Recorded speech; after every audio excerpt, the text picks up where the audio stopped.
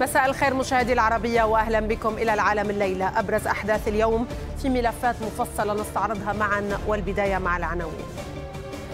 Israel is moving ahead with our operation uh, to target uh, Hamas in Rafah. تأكيدا لاقترابها. مجلس الحرب الإسرائيلي يبحث بشكل فوري موعد بدء العملية العسكرية في رفح. تحسبا لمزيد من الاستهدافات الإسرائيلية إيران تستبدل مستشاريها بعراقيين ومن حزب الله.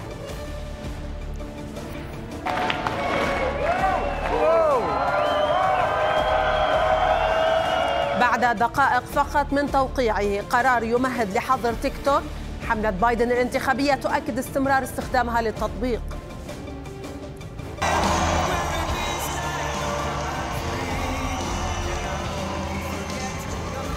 استطلاع جديد للرأي يكشف تقدم دونالد ترامب على جو بايدن في ست ولايات متأرجحة وفي الساعة الثانية من العالم الليلة ملفات أخرى أبرزها. مساعدات أمريكية مليارية على وقع زيارة بلينكن إلى بكين. بايدن يغضب الصينيين بإقرار مساعدات عسكرية بدأت في إسرائيل وانتهت في تايوان. متحدثا عبر العربية English أندرو تيت الشخصية الأكثر جدلا في عالم السوشيال ميديا. يكشف لريس خان جانبا غامضا من حياته وعلاقاته في مقابلة مثيرة. تفاصيلها في العالم. وفي خارج الصندوق بعد قليل مغامرة جديدة لنتنياهو. عملية رفح العسكرية هل تربحه العملية السياسية أم يفقد حلفائه؟ نبحث في التفاصيل. ولدينا أيضا في خارج الصندوق وزير داخلية إيران على قائمة الإنتربول. يقطع رحلته ويعود إلى بلاده خائفا. نكشف التفاصيل.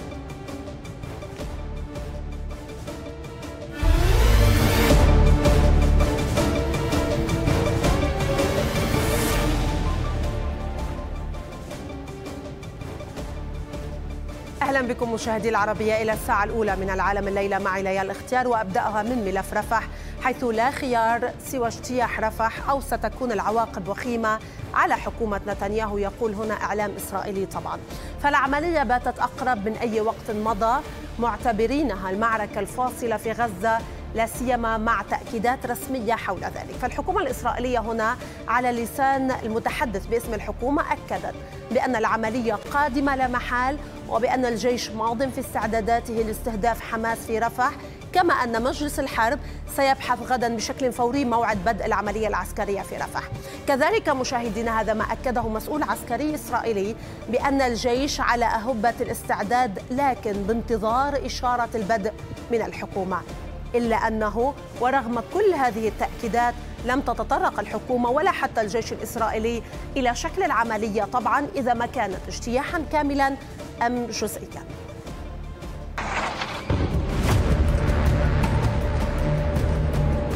بس يا رب يا رب يا رب ما تصل مرحلة إنه الجيش الإسرائيلي يخش المنطقة هذه لأنه إذا وصل المنطقة هذه ابادة بمعنى الكلمة بمعنى جميع الكلمات ابادة حتكون انت بتخيل قديش في هنا عالم؟ تخيل قديش في عالم هان؟ عالم يعني إيش قلنا؟ عالم كبير هنا وقفوا الحرب إحنا ناس بدنا نعيش. إحنا يا عمي ناس سالمين إحنا لا طعون طخ ولا طعون كتل ولا طعون حاجة. إحنا ناس مواطنين بدنا نعيش. عندنا صغار بدنا نربيهم بدنا نطعمهم.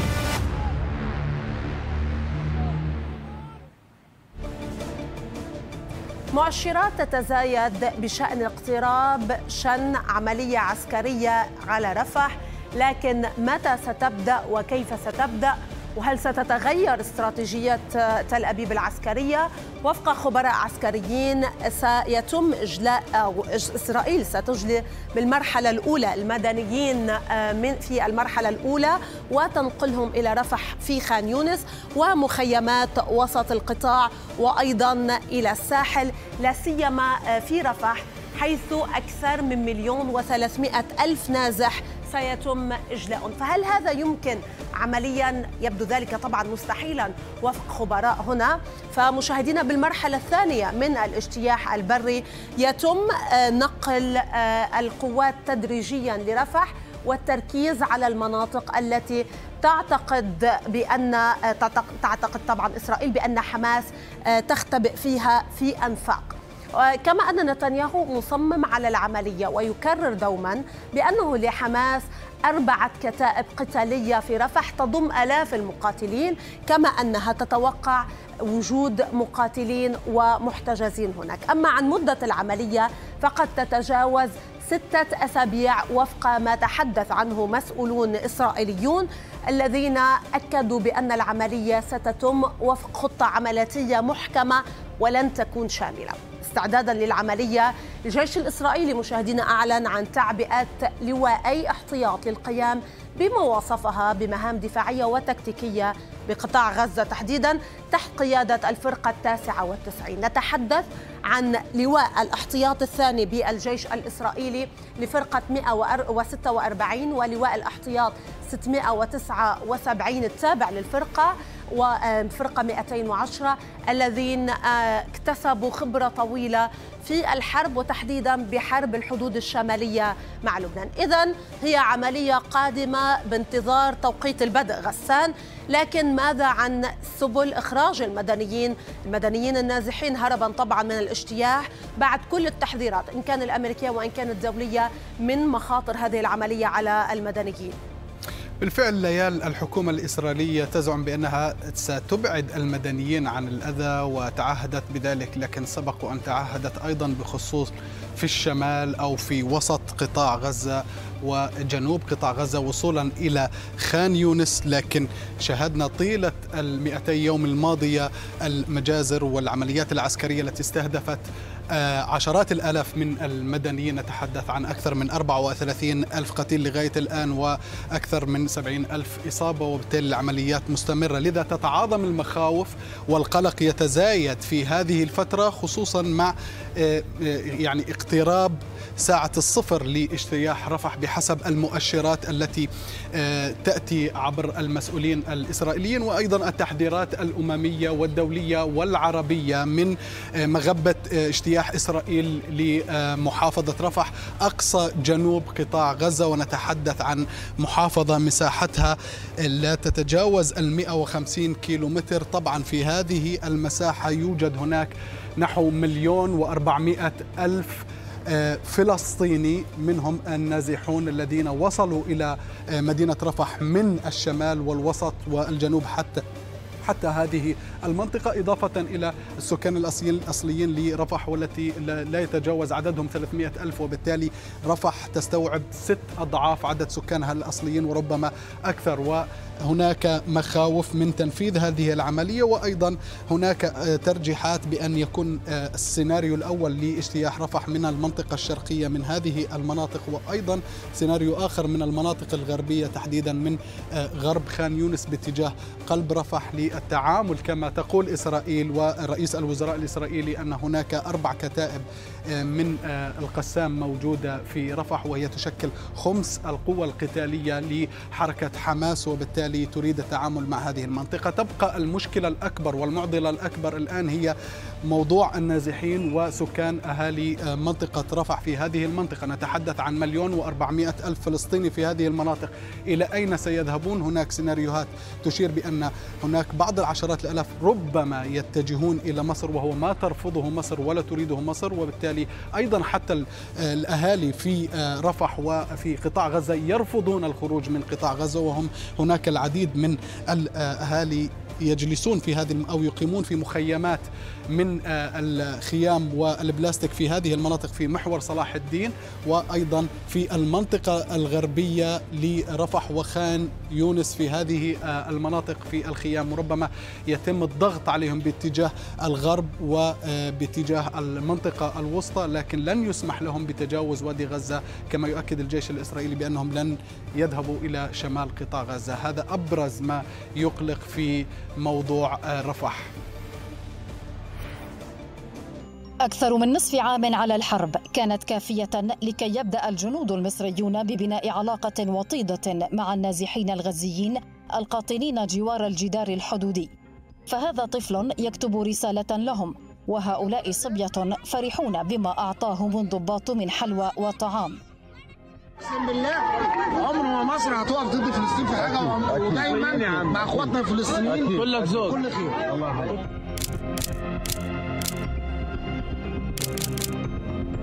ما يجري هنا يشكل أحد الهواجس الأمنية المصرية.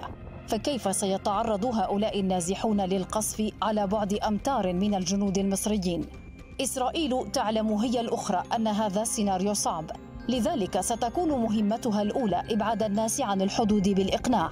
صور أقمار صناعية أظهرت أن إسرائيل بدأت بناء معسكرات في منطقة المواصي وجنوب خان يونس معسكرات تحوي خدمات وربما إغراءات لإبعاد النازحين عن رفح. مصر تنفي وجود تنسيق بينها وبين إسرائيل أو أي طرف بشأن تفاصيل العملية العسكرية لكنها يجب أن تكون مستعدة لأسوأ السيناريوهات التي قد تحدث كفرار جماعي للغزيين باتجاهها أو سقوط قذائف وصواريخ في أرضها وحتى تفجيرات في هذا الجدار تؤدي إلى ثغرات أمنية. وندعو لعدم اتخاذ إسرائيل لأي إجراءات عسكرية في رفح. هذه أيضا دعوة من غالبية العظمى من أعضاء المجتمع الدولي لإدراك الجميع بأنه الأعمال العسكرية في منطقة تكتظ بالسكان المدنيين حوالي مليون ونصف سوف يترتب عنها مزيد من الضحايا من المدنيين. وهنا يبرز دور الولايات المتحدة والضمانات التي ستقدمها ولجم الهجوم العسكري على رفح بحيث يكون منظما وتدريجيا ولا يؤدي إلى سقوط ضحايا من المدنيين الذين سيخرجون طواعية وفق الخطة إلى أماكن أخرى. وهو ما يبرر مدة الشهرين التي تحدثت عنها عدة مصادر كعمر افتراضي لعملية رفح. للحديث مشاهدينا عن عملية رفح ينضم إلينا من تل أبيب عبر زوم أوفير جاندلمان المتحدث باسم الحكومة الإسرائيلية. أهلا وسهلا بك. لو سمحت باختصار الأجوبة لأن لدينا الكثير من الاستفسارات. بداية هل اتخذ توقيت العملية متى؟ وكيف هو شكل هذه العملية؟ التوقيت قد اختير من قبل رئيس الوزراء وتمت المصادقة على جميع الخطط العملياتية المعنية باجتياح رفح لأن رفح هي معقل المعقل الأخير لحماس ولذا يجب المضي قدما في العملية من أجل القضاء على حماس بأكملها نحن لا نريد أن نرى حماس تعيد تنظيمها وتصليحها بعد عدة شهور أو سنة أو سنتين وعندئذ هي ستتمكن من نعم. ارتكاب المزيد من المجازر بحق مواطنينا لذا لابد من استكمال المهمة والدخول إلى رفح هل نتحدث عن أيام ساعات يعني كم المدى الزمني لبدء العملية؟ تقريبا لن, لا لن تقول متى ولكن المدى الزمني. لا نعطي هذه التفاصيل لاسباب عملياتيه وعسكريه واضحة تماما. شكل العملية هل نتحدث عن عملية اجتياح بري وأيضا يعني قصف جوي كما حدث بقطاع غزة قبل؟ هذا يعني اتخاذ جميع الإجراءات التي من شأنها استئصال حماس. من رفح نحن نعلم بأن كما تفضلت هناك أربع كتائب متبقية لحماس في رفح. ومن أجل القضاء على كل القوى المقاتلة لحماس لابد من الدخول إلى هذه المنطقة. وبالتالي طيب. نحن نعلم بأن هناك شبكة كبيرة من الأنفاق في هذه المنطقة. نعلم بأن هناك احتمالية كبيرة بأن المخطوفين الإسرائيليين متواجدين في هذه المنطقة ونحن طبعا ملتزمون تماما هذا نعم هذا ما تقول الحكومة يعني بمصوغ هذه العملية ولكن اليوم مصر تحذر بأن هذه العملية إذا ما كانت يعني تحذر من تبعات هذه العملية أولا من الناحية الإنسانية وثانيا على السلام بين إسرائيل ومصر. هناك يعني تسريب كان لأكسيوس عن لقاء بين المخابرات المصرية والمخابرات الإسرائيلية. هل هناك تنسيق مع مصر؟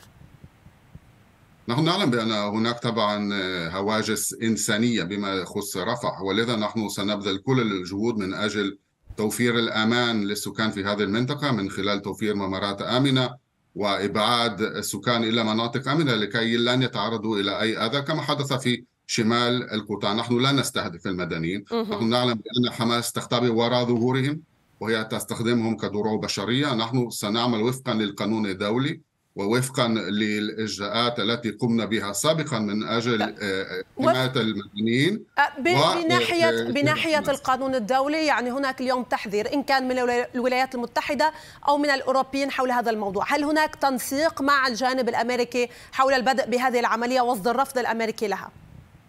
هناك اتصالات مستمرة مع الطرف الأمريكي حول هذا الأمر والإدارة الأمريكية تدرك تماما بأنه لا مفر من القضاء على حماس بأكملها، يعني الولايات المتحدة تقف إلى جانب إسرائيل في تحقيق أهداف الحرب الثلاثة وهي وبالتالي هناك ضوء أخضر أمريكي بهذه العملية. واسترجاع المخطوفين وضمان بأن غزة لن تشكل أبدا. أي تهديد علينا؟ هناك ضوء أخضر بالبدء بهذه العملية. مرة أخرى يجب الدخول إلى رفح خلينا نتصور سيناريو آخر. حماس هي داعش فلسطيني. خلينا نتصور بأنه لم يكن سمحت لم يتم الدخول لم يتم الدخول إلى الرقم أو الموصل من أجل القضاء على داعش. اسمح لي. لا لا لا أنا لا اسمح لي. حماس هي داعش فلسطيني. اسمح لي. لا نريد أن نذهب إلى لا نريد أن نذهب إلى إلى هذه المصطلحات واستخدامها. أنا هذا من أنا. اخذ أنا أخذ. معلومات أنا أخذ مع هذا من ونحن حقي. لو سمحت لا أريد أن أدخل بجدل على الهواء. يعني دعنا أن نكمل هذا الحوار بطريقة راقية. أريد معلومات ومعطيات فقط. هل هناك تنسيق أمريكي وضغط يعني وضوء أخضر أمريكي للبدء بهذه العملية؟ وهل تنسقون مع الجانب المصري؟ نعم أم لا؟ نحن ننسق مع الطرف الأمريكي ونحن أوضحنا خططنا إلى الإدارة الأمريكية. وهناك طبعا اتصالات مستمرة في في هذا الصدد ومرة أخرى بما يتعلق بما هي حماس. فحماس هي داعش فلسطيني. هذه هي التسمية الإسرائيلية. شئت أم أبيت؟ اسمح لي لا نريد أن نستخدم هذه التسميات على الهواء. يعني لا أريد أن أدخل الجدل هذا من حقي. لا هذا حقي. و- ونحن من حقنا أن يعني ان أن نفرض المصطلحات التي يمكن استخدامها. أيضا هي يعني مصطلحات مهنية آه، تت آه، يعني تتوافق مع عن- مع الإعلام العربي لماذا ومع هذا إعلامنا. الدفاع عن هذا التنظيم الإرهابي آه، المتوحش س- يا سيد؟ يا سيد أوفير لا أريد أن أدخل بجدل. لو سمحت دعنا نكمل إذن هذا الحوار. آه، إذا ما الثاني. إذا ما. okay آه، إذا ما آه، سأنتقل إلى الحدود مع لبنان هل هناك تصريح لوزارة الخارجية بأن آه، ولوزير الوزراء الإسرائيليين بأن العملية أصبحت وشيكة هل هناك أيضا آه، عملية آه، واجتياح كامل على الحدود مع لبنان منذ ستة أشهر نحن نتعرض لقصف مستمر لبلداتنا وقرانا على حدودنا الشمالية من قبل التنظيم الإرهابي الإيراني الذي احتل لبنان واحتل جنوب لبنان. ونحن أوضحنا منذ أول يوم بأنه يجب إزالة هذا التعديد عن حدودنا. تم إخلاء أكثر من 80 ألف مواطن إسرائيلي من هذه الحدود من البلدات والقرى وهم آه، نازحون في بلدهم.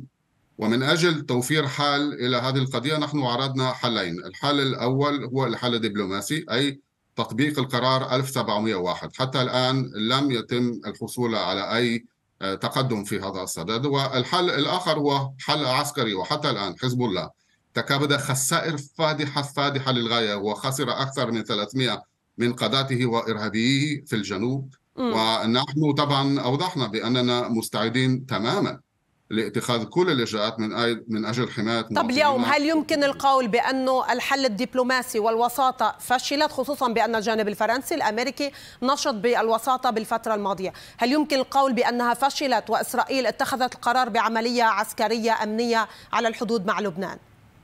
يمكن القول بأننا أعطينا فرصة لهذا المسار الذي لم يحقق أي نتائج ملموسة مم. بعد طيب والبعض يعني يسأل ألم تتعظوا من حرب 2006 وبالتالي ما ما الجدوى من حرب حرب تدميرية لن يعني لن تستأصل حزب الله؟ ولكن سأعود إلى حزب مصر. الحرب؟ سأعود إلى مصر. حزب الحرب؟ حزب هل الله الذي لحظة خليني أقول لك. تفضل. حزب الله الذي يواصل قصف بلداتنا هو الذي يريد الحرب ولكن لبنان لا يريد الحرب. الشعب اللبناني لا يريد الحرب. ومرة أخرى حزب الله وهو ميليشيا إيرانية يجر لبنان إلى حرب تدميرية. انظروا إلى ما حصل في غزة. هذا سيكون أيضا في بيروت لو استمر حزب الله في قصف آه، بالعودة. إلى مصر. هل هناك تنسيق مع المصريين خصوصا وأن هناك تأكيد بأن يعني لا تهريب على الحدود؟ هل هناك تنسيق بخصوص عملية رفح وسط التحذير المصري من مغبة قيام بها؟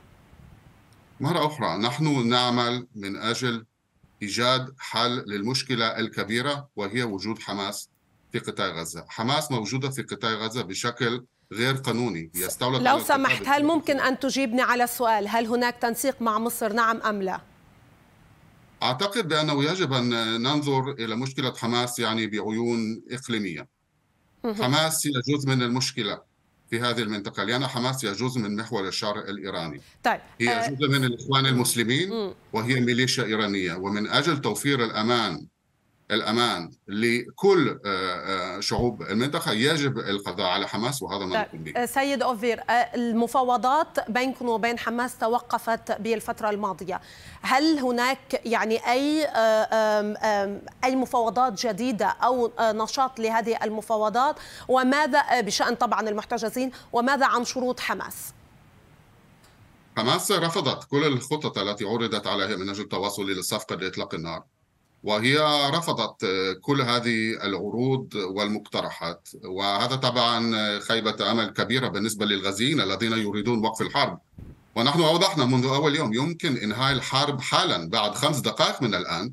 لو تم القيام بشرطين. الشرط الأول هو الإفراج عن جميع المخطوفين الإسرائيليين. هناك 133 مختطف إسرائيلي داخل قطاع غزة بأيدي هؤلاء الوحوش. والشرط الثاني هو استسلام حماس. إذا اكترثت حماس ولو للحظة بمصلحة سكان قطاع غزة لاستسلمت. وهناك آلاف الإرهابيين الذين ينتمون لحماس الذين استسلموا. وإذا لم تستسلم حماس طبعا يجب المضي قدما حتى القضاء عليها. وبالتالي لا المفاوضات متوقفة. المفاوضات متوقفة بسبب رفض حماس. المضي قدما في صفقة لوقف إطلاق النار وللإفراج عن المخطوفين نعم. شكرا لك من تل أبيب عبر زوم أوفير جندلمان المتحدث باسم الحكومة الإسرائيلية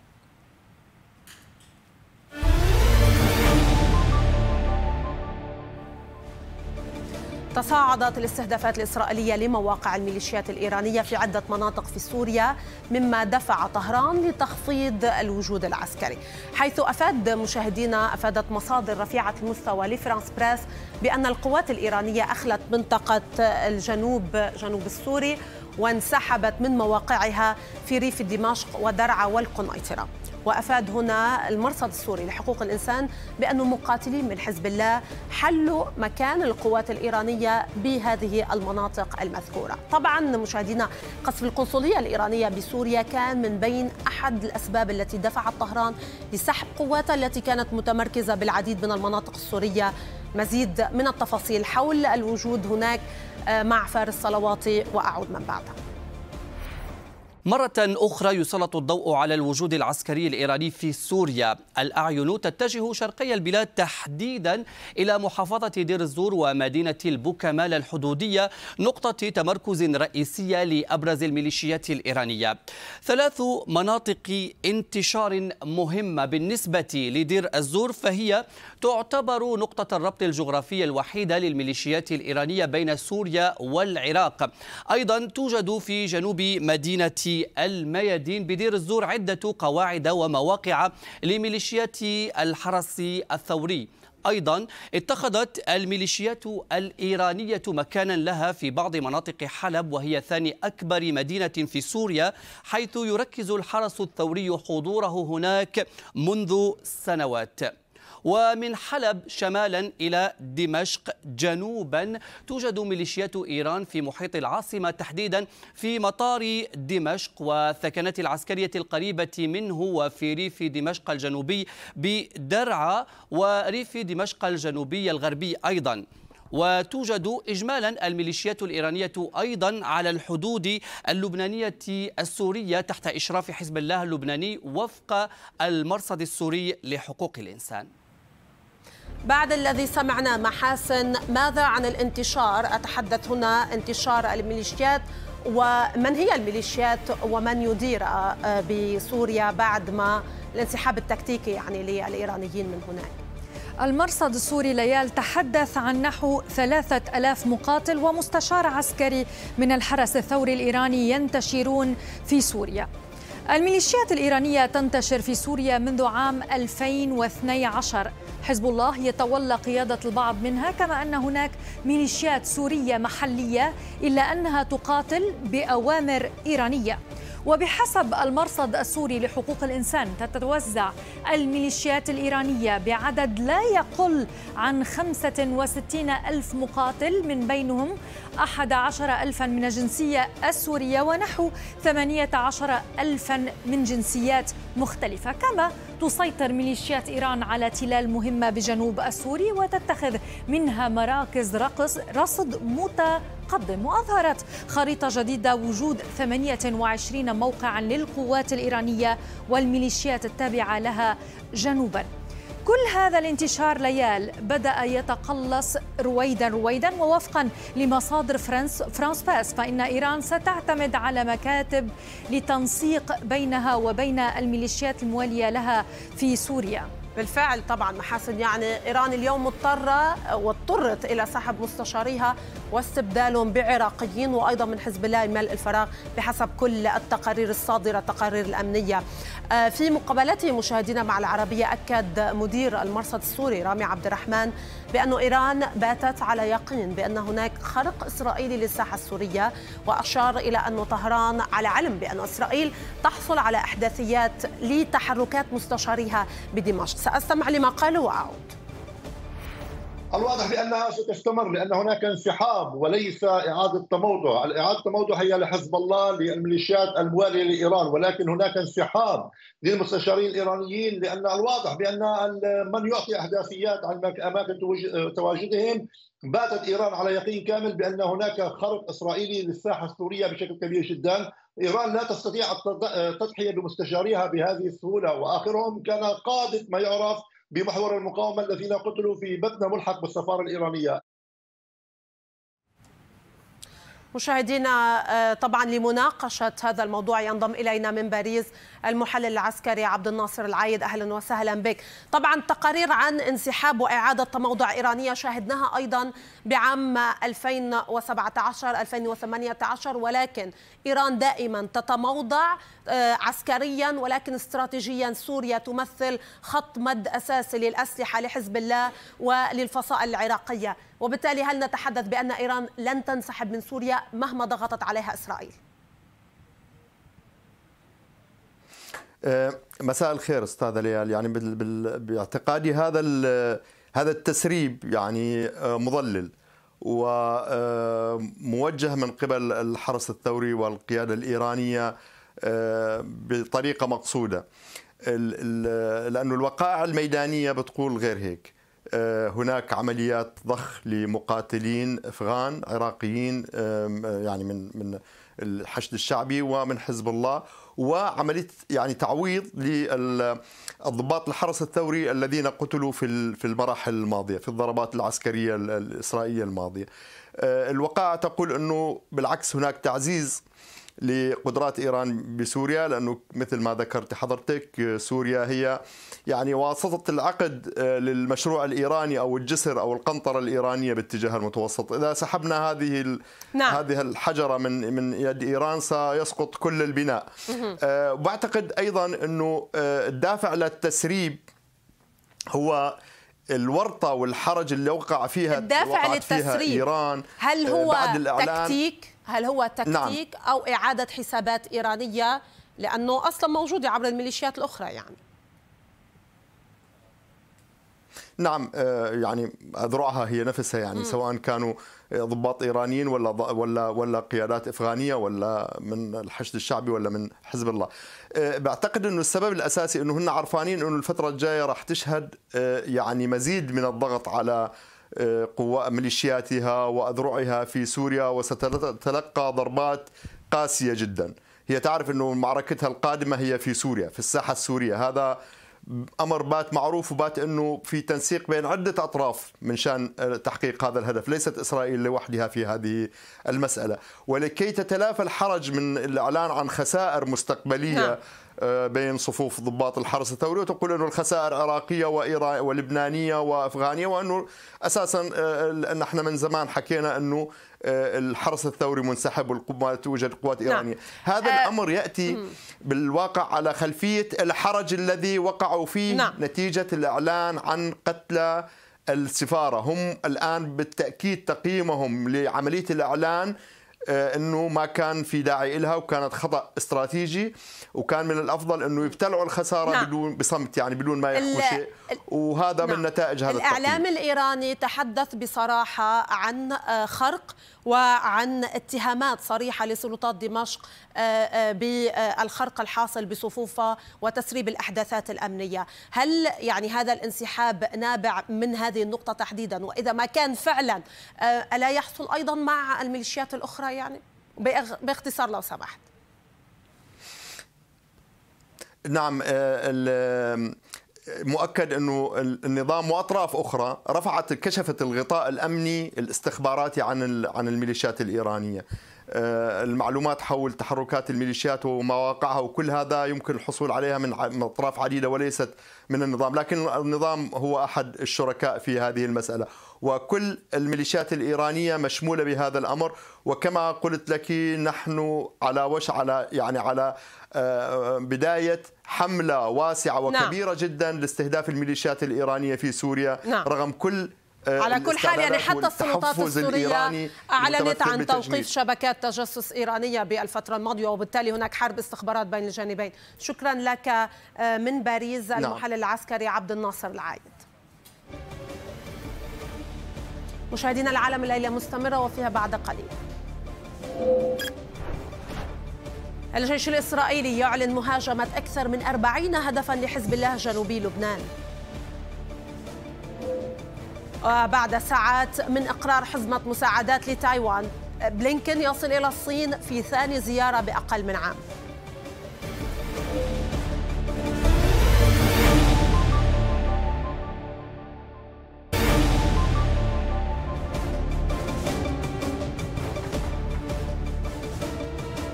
مشاهدينا سأكمل طبعا بملفات العالم الليلة ولكن الآن قبل استكمال الملفات سأنتقل إلى موجز لأهم وآخر التطورات الإخبارية وأبدأه مع إعلان متحدث للجيش الإسرائيلي بأن سلاح الجو والمدفعية شن ضربات على 40 هدفا لحزب الله جنوبي لبنان. وقال الجيش الإسرائيلي بأن الضربات استهدفت مراكز تخزين وبنية تحتية عسكرية لحزب الله خاصة في منطقة عيت الشعب.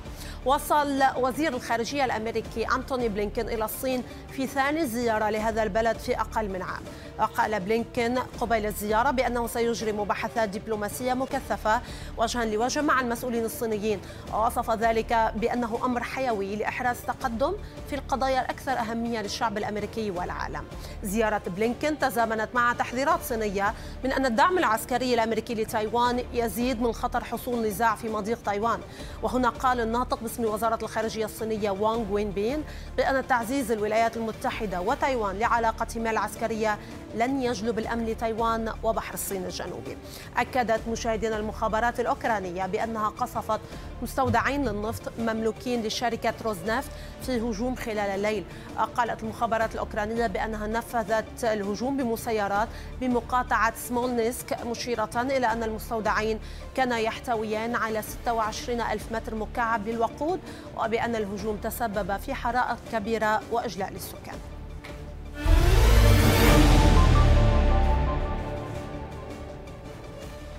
أعود لملفات العالم الليلة ولكن إلى الولايات المتحدة وتيك توك. الولايات المتحدة تنذر تيك توك إما بقطع العلاقات مع بكين أو الحظر. انعكس ذلك باعتماد الكونغرس الأمريكي طلبا يطالب مجموعة تيك توك العملاقة بقطع علاقاتها مع شركتها الأم أي أتحدث هنا عن بايدانس وعلى نطاق واسع أي مع الصين. إذا كانت لا تريد مواجهة خطر حظر بالولايات المتحدة بعد جلسة أمس. الرئيس بايدن وقع على النص الذي أقره قبل أيام مجلس النواب وصادق عليه مجلس الشيوخ. أما تيك توك مشاهدينا فاحتجت مباشرة بعد التصويت بمجلس النواب السبت الماضي معتبرة بأن حظر المنصة سيشكل انتهاكا لحرية التعبير ل 170 مليون أمريكي وتعهدت بالقتال في المحاكم وفق وصفها. إذا دخل حظر تيك توك حيز التنفيذ طبعا روان هذا سيجبر بايدنس. أتحدث هنا عن الشركة الصينية الأم لهذه المنصة على بيع التطبيق خلال 12 شهرا كحد أقصى وإلا سيتم استبعاده من متاجر أبل وجوجل على الأراضي الأمريكية. وبالتالي ماذا سيحصل؟ صحيح ليال لكن الحظر المحتمل ليس بهذه السهولة. بداية يمكن أن نواجه طعن في القضاء. وسط تساؤلات عن البدائل المحتملة. على الأرجح ستحاول تيك توك الطعن في المحاكم وهي من ضمن العراقيل التي تواجه بيع المنصة. فقانونيا قد تجادل تيك توك ببند تعديل الدستور الأول وتقول إن ما يمارس ضد المنصة هو بيع قسري ينتهك حرية التعبير لمستخدميها. قد تنضم أيضا مجموعات أخرى للمعركة القانونية مثل اتحاد الحريات المدنية الأمريكي الذي كان معارضا صريحا للحظر لجانب احتمال أن تدخل بكين على الخط وتحاول منع البيع. فيما حظر تيك توك في الولايات المتحدة يعتمد على خطوات كثيرة يمكن عملها قبل الحظر منها اللجوء إلى القضاء والمحكمة الدستورية قبل الحظر المنصة وعرض شراكة أمريكية على الشركة الصينية. كما أنه من الممكن حفظ كل المعلومات المتعلقة بالمستخدمين الأمريكيين داخل بنوك معلومات موجودة في الولايات المتحدة وهي الخطوات التي لا يعتقد المحللون أن مالك تيك توك سيرفضها كونه لا يستطيع الاستغناء عن أكثر من 170 مليون مستخدم. أما عن احتمالية بيع حصة منصة تيك توك فيعتقد الخبراء بأنها خطوة لن يقبلها مالك تيك توك. استنادا لأزمات سابقة بين بكين وواشنطن حول شركة هواوي والرقائق الإلكترونية والتي انتهت بإيجاد بدائل. لكن مجرد تصويت مجلس الشيوخ الأمريكي على مشروع قانون يهدد بحظر تطبيق تيك توك في الولايات المتحدة ليال وتوقيع بايدن عليه أمر له تداعياته على المنصة. بالفعل روان يعني خطوة الولايات المتحدة اليوم قد تكون منطلق لدول أخرى سبق وأن أعربت عن قلقها من الشعبيه الهائله آه، اللي بيتمتع فيها طبعا آه، تطبيق تيك توك. من روان إليك فلك قرار الحظر تم توقيعه رسميا قبل قليل من قبل الرئيس بايدن بايدن لكن هناك تبعات ومراقبة للخطوة القادمة ما هي الخطوة القادمة؟ بالفعل ليال وتيك توك قالت إنها ستقاتل ضد هذا القرار في المحاكم متوعدة بجولات قانونية طويلة قرار الحظر يعني بالنسبة لتطبيق تيك توك احتمالية أن يؤدي القرار الذي تمت الموافقة عليه بأغلبية ساحقة في مجلس الشيوخ بنسبة 79 إلى 18 إلى إجراء نادر الحدوث بمنع إحدى الشركات من العمل داخل الولايات المتحدة. يتيح هذا القانون للرئيس الأمريكي سلطة تحديد التطبيقات الأخرى التي تمثل تهديدا للأمن القومي خاصة إذا كانت تتم إدارتها من قبل دولة غير صديقة لواشنطن.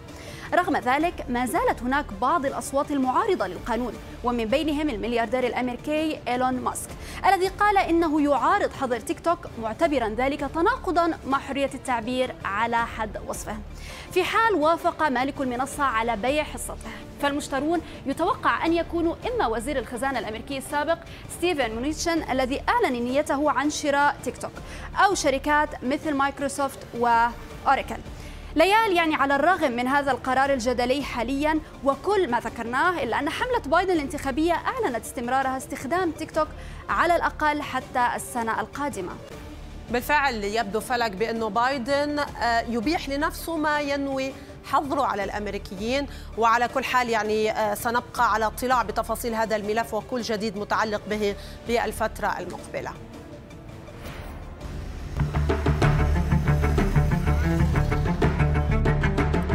TikTok is a threat to our national security. This is really about controlling Americans' data. The bill is passed without objection. A motion to reconsider is laid on the table.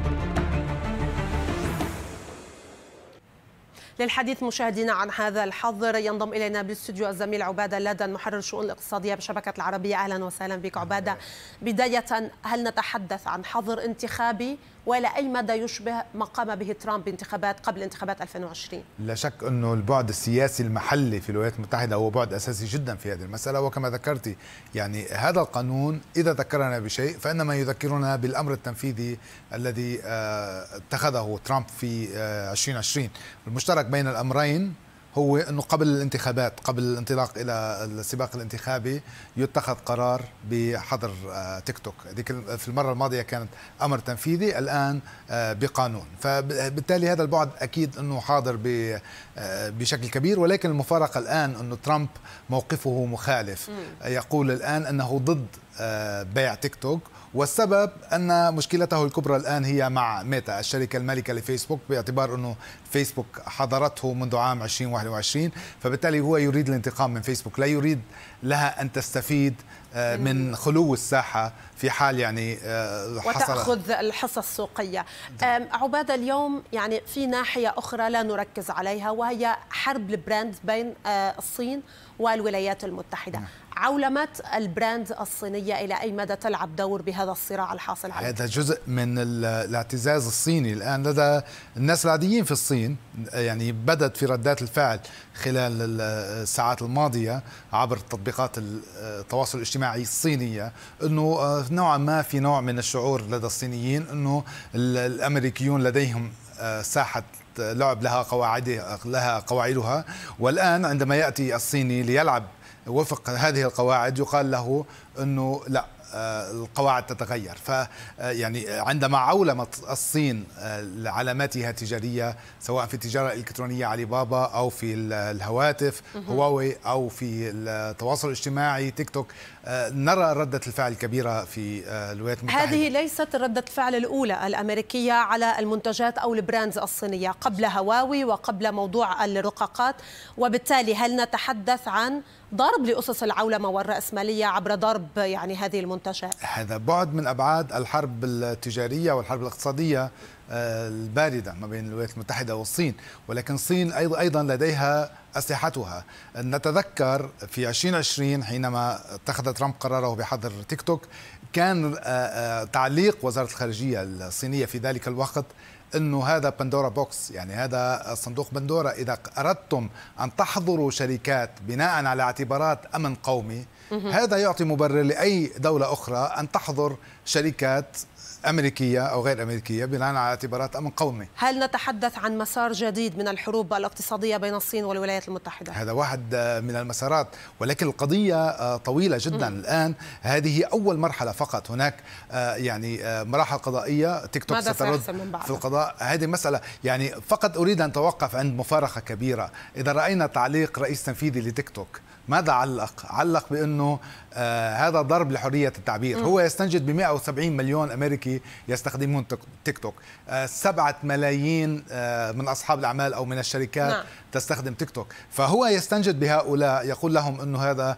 يؤثر على مصالحكم وعلى مصالحكم النادية وهذه مفارقة. كبرى يعني من, طيب. من ناحية هناك النفس العدائي تجاه نعم. الصين أو النزعة الوطنية تجاه الصين آه، في الولايات المتحدة ومن ناحية أخرى هناك استفادة كبيرة في هناك انخراط كبير من الماس من الجمهور الأمريكي في استخدام هذا المعارض التطبيق. على كل حال. عبادة باختصار اليوم كان لافت رفض إيلون ماسك. اولا لا يريد أن تكون هذه السابقة عادة وثانيا مصالح إيلون ماسك بالصين. لماذا يخاف اليوم؟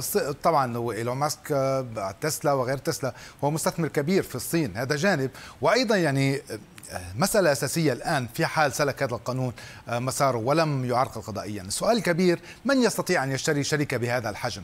الآن الحديث عن تقييم الشركة آه، عالميا تقيم تقريبا بحوالي 100 مليار رقم قد لا يكون دقيقا ولكن هذا هو الشائع. وأعمالها في أمريكا فقط يعني بين 40 و50 مليار دولار. نعم. يعني من يستطيع أن يشتري شركة من؟ بهذا الحجم؟ باختصار آه، هناك مرشحون يعني ولكن أوراكل مثلا اللي كانت مرشحة في 2020 لشرائها شركة الآن مديونة بأكثر من 80 مليار دولار. فالمرشح يعني من؟ متى؟ آه، مايكروسوفت. آه، الآن هناك آه، ستيفن منوشن اللي هو اللي كان وزير الخارجية وزير وزير الخزانة الأسبق يقول أنه يشكل تحالف لتشكيل كونسورتيوم للشراء ولكن لا يبدو الآن على الساحة من هو يعني يستطيع الشراء من دون عقبات تتعلق بالاحتكار أو من دون عقبات مالية. خصوصا أن الحكومة الصينية ترفض يعني أي عمليه بيع بدون موافقتها أو بدون هذه مسألة أساسية جدا أيضا. شكرا لك عبادة لدن على وجودك معنا. مشاهدينا مستمرون معكم ولكن بعد الفاصل. تحذيرات من أمطار وفيضانات عارمة في مناطق عدة في الصين. وفي العاصمة اليونانية وبسبب الغبار الإفريقي السماء تتحول إلى اللون البرتقالي.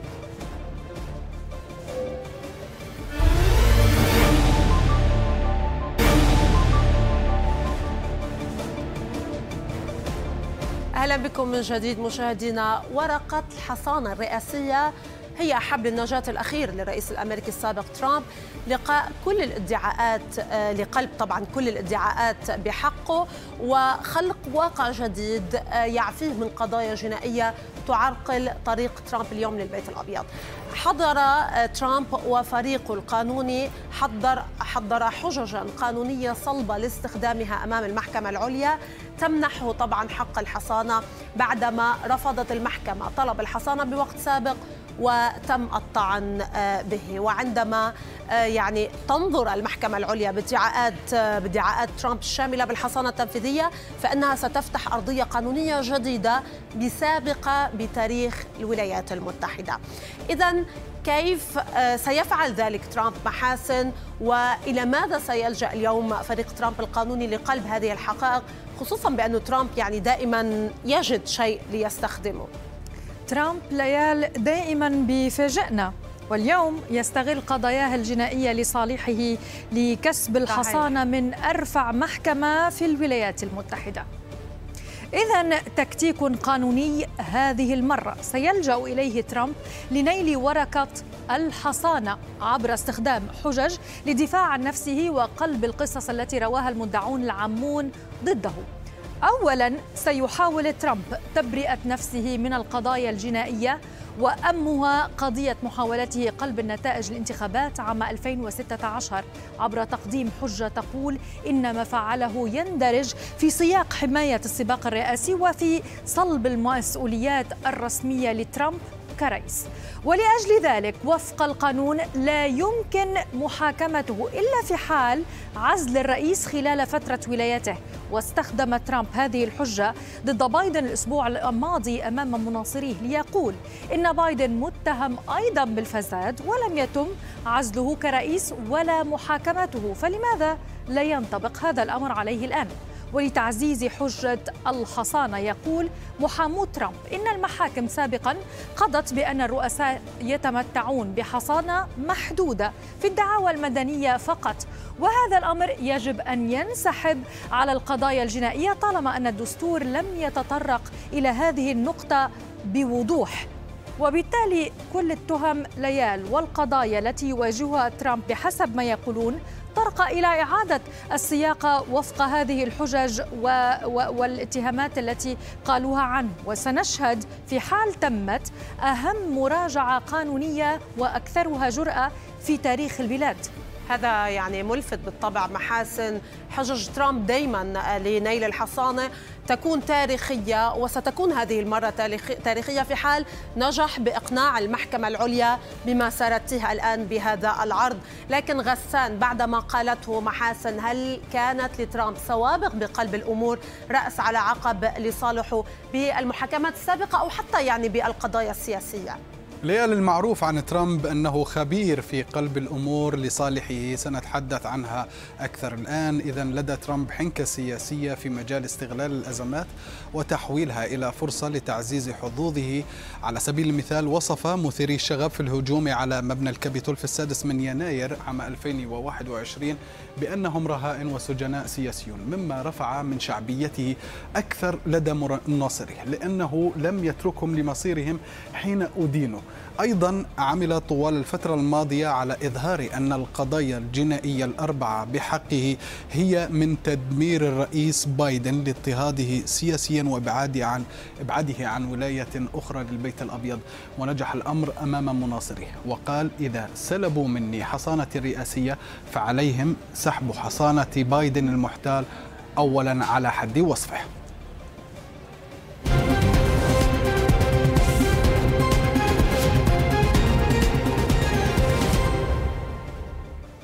أبقى مشاهدينا بالولايات المتحدة وبملف ترامب. ولكن من زاوية أخرى فبينما يصارع ترامب بالمحاكم الجنائية تأتي أخبار مبشرة نوعا ما له ولحملته الانتخابية وهي تقدم ترامب بعدد من الولايات المتأرجحة وبالتالي استمالة صراع تلك الولايات إلى جانبه. أتحدث هنا طبعا عن الولايات التي رويدا رويدا وفقا لاستطلاعات الرأي آه، كشفت بأن ترامب حصل على دعم بنسبة 49% بست ولايات متأرجحة مقابل نسبة 43% لبايدن. للحديث عن هذا الموضوع معنا من واشنطن ريتا سليمان مراسلة العربية. ريتا عندما نتحدث عن الولايات المتأرجحة نتحدث عن أهمية خاصة للمرشحين. يعني ما هي الصورة اليوم بعد الأرقام التي ذكرناها؟ دعيني اولا أشير إلى أنه استطلاعات الرأي هذه ليست حاسمة فنحن لا نزال على مسافة زمنية كبيرة من نوفمبر 2024 ولكن إذا ما أردنا النظر إلى هذه الأرقام فإنها يمكن أن تعبر لنا عن الرأي أو طريقة استجابة الناخب الأمريكي في هذه الولايات المتأرجحة للعناوين الأساسية التي يطرحها المرشحان المفترضان حتى اللحظة للحزبين الجمهوري والديمقراطي. لنأخذ ميشيغان على سبيل المثال. في هذه الولاية كانت بايدن يخسر الكثير من الأصوات خاصة من الجالية العربية جراء الحرب على غزة وعدة تفاصيل أخرى. ولكن بايدن آه، أصر بحملته الانتخابية وركز على هذه الولاية وتعاون مع نقابة عمال السيارات مثلا في هذه الولاية.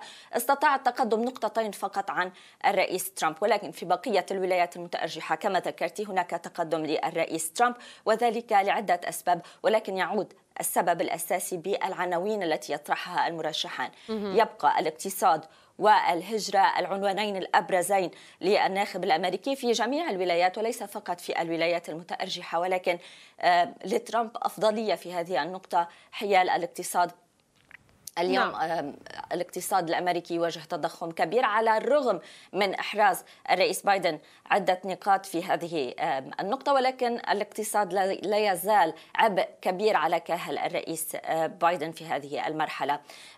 أيضا هناك في الأيام والأشهر المقبلة سيكون هناك استطلاعات رأي أكثر يمكن أن تشير إلى ربما تقدم نعم. اي من الجانبين وتجدر الإشارة أيضا بأنه على الرغم من قضاء ترامب الكثير من الوقت في المحاكم إلا أن ذلك لم يمنعه من التقدم نعم. إن كان من جمع المال أو حتى من التأييد من مناصريه وبالتالي سننتظر يعني هناك وقت واستطلاعات الرأي ستتغير شكرا لك من واشنطن ريتا سليمان مراسلة العربية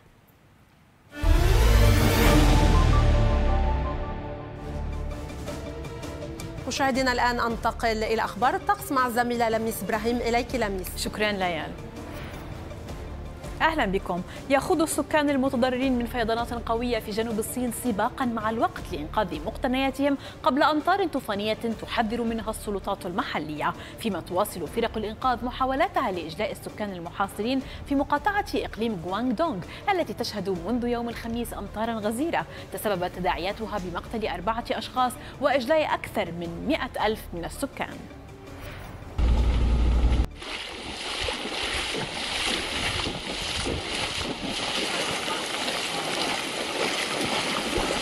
对部分滑坡的道路以及坍塌的桥梁进行抢修，尽快恢复。تحولت السماء في أثينا إلى اللون البرتقالي بعد أن غطى الغبار الإفريقي من الصحراء الكبرى المدينة حملته رياح جنوبية عبر البحر المتوسط وتحولت هذه العاصمة اليونانية إلى مدينة شبيهة بالمريخ حيث غطت الرمال الحمراء معظم معالم المدينة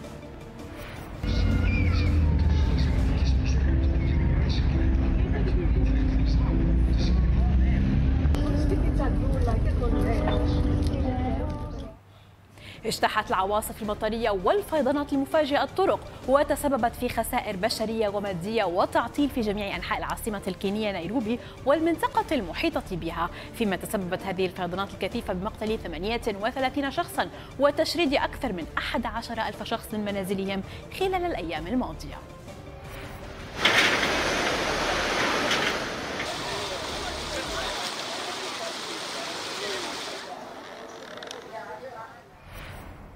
مشاهدينا أختم الساعة الأولى من العالم الليلة. مع ليال اختيار مع أبرز العناوين. تأكيدا لاقترابها مجلس الحرب الإسرائيلي يبحث بشكل فوري موعد بدء العملية العسكرية في رفح. وتحسبا لمزيد من الاستهدافات الإسرائيلية إيران تستبدل مستشاريها بعراقيين ومن حزب الله. وبعد دقائق فقط من توقيعه قرارا يمهد لحظر تيك توك. حملة بايدن الانتخابية تؤكد استمرار استخدامها للتطبيق.